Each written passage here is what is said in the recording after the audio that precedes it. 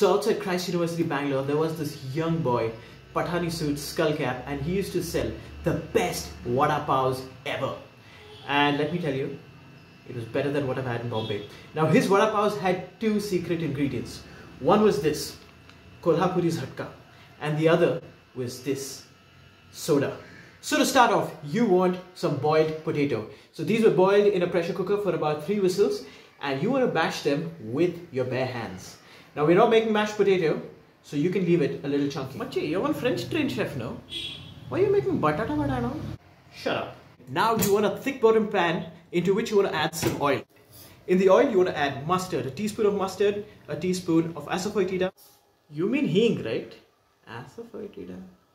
Turmeric, garlic,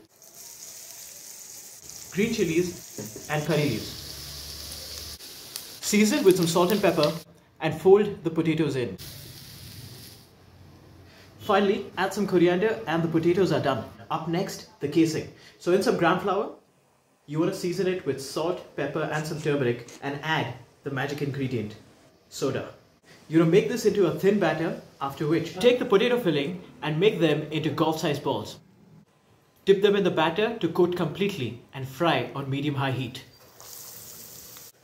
Once completely fried and crispy, you want a piece of pav, split it in the middle, add some kolhapuri jhatka, a vada, and some fresh onions, and the ultimate vada pav is ready. Ultimate, ultimate.